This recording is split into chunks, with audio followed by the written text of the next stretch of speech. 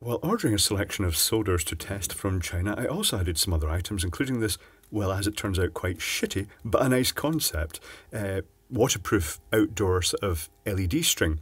And it's very clever because they've taken a standard little outdoor light or underwater light like this.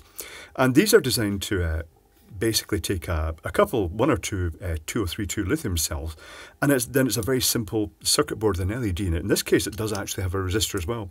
But what they've done, they've taken this standard housing, which is properly watertight, it's got an O-ring, and it really does seal tightly.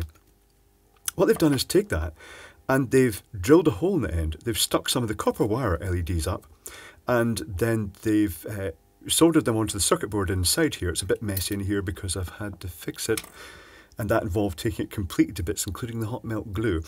Uh, but they've then held the circuit board out a wee bit, put some hot melt glue into here, and then pushed it in so that it seals. And you can see a slight thread has come out with the wires, but it's made it completely watertight. So when this is screwed together with the lithium cell in it, rechargeable or not, uh, you can then uh, close it up and the LEDs will light. And this one is just a terrible holder.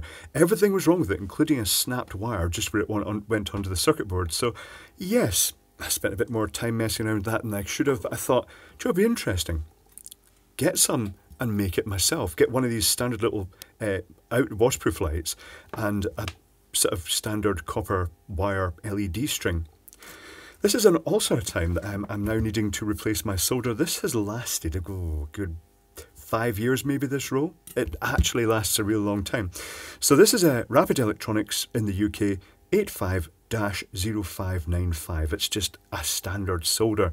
Um, it's 6040 tin lead alloy, and I use a little holder like this. You put this core through, and you sit it into the holder like this, it drops in by gravity, and then you feed this wire, the solder, through the little hoop there, and it just keeps it ready for use. So let's just shove that over there, and I shall actually snap a bit off right now. I prefer to just snap a bit off. Not sure why the pink reel is pink, but it seems fitting. The new one isn't pink. So let's uh, do this. So we'll take this apart, and these are available very cheaply online. They're sometimes called vase lights. This one, it's rather nice. The wires are actually going to the outside of the spring. Some of them have it inside the spring, but this makes it more accessible. So I'm going to heat these solder pads, and I'm going to desolder the LED by pulling it out at the same time as I'm heating it. And then I'll probably use this solder sucker to get rid of that excess solder. So heat the solder up and suck, and heat the solder up and suck. Oh, didn't quite get it all, not to worry, I'll give another go. There we go.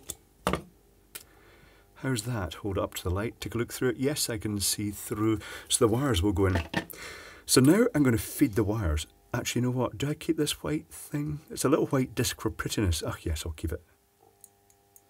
So I'm going to feed the wires through. I've already tested these by holding them across a lithium cell. I'll do it again, in fact. Uh, so by holding it across a lithium cell, you can see them lighting when the polarity is correct. And I've put a wee red dot on the end there. It's not very visible. So I'm going to feed that through there. I've already tinned the end of the wires too. These were very receptive to the solder uh, and the insulation just uh, peeled back when I soldered them. So that's also very good. So let's uh, get the solder in on that. Soldering iron. And let's see if I can actually solder onto the bit I'd cleared, which I think I've managed to do. The other wire goes to the other side of that. I like the idea of this because, uh, particularly if you used uh, the rechargeable 2032s, this one has a resistor in series as well. The other one didn't. Is this going to go through because... Oh, it has. It's gone through. Uh, so that should actually make it run a wee bit dimmer but last a lot longer. So let's uh, solder that. That looks pretty good. And I'm going to trim the tops of those wires down so that the battery doesn't squish against them when it's closed in. Now, theoretically, if I just fold these wires in a bit, oh, you know what? I've actually melted that wire into the case. Oh no, I can't believe I've done that. Rightio, slight mess up here. I'm going to have to heat this wire again just to actually get it out the case. It's melted into the side here. That's something to look out for. Let's uh, actually solder that wire in then now that I've done that. That's a bit annoying. Now, videos. Do you guys prefer longer videos or shorter videos? Because I've been making longer and longer videos and more technical videos. And I know some people like the longer videos, but some people prefer the shorter videos in a sort of grab one before you go to sleep type sort of context. So if you prefer longer videos, uh, give this video a thumbs up. If you prefer shorter videos, give it a thumbs down. That's a good way to assess. So that's the wire soldered in. Uh, I could test this now. Let's test it now before I glue it together. Uh, and let's screw the battery in. Oh, let's not try and screw this up so much. I'm screwing everything up, aren't I? That's working fine. So, I'm going to use the hot melt glue now. I have the hot melt glue gun handy. I bought this hot melt glue purely because Ave did a review of it. It's the Ryobi rechargeable. It takes the One Plus batteries. And uh, I think Ave might have been slightly scathing of it, although he was impressed with its performance. I was certainly impressed with its performance. Uh, and it's been great. I've used it quite a lot. It's very handy having it on call. Now, to uh, hold that in while it, the glue gets cold, I'm just going to screw this in. Might as well screw it and have it light up. And you can see the glue has gone all clear in there. Well, it'll go uh, mottled after a while. But uh, as I pulled that wire down, it also pulled a wee stem of the glue out. It doesn't really matter. I shall turn that hot melt glue gun off now. And that was it. That was a very easy project to convert these little waterproof lights to uh, drive a string of the LED.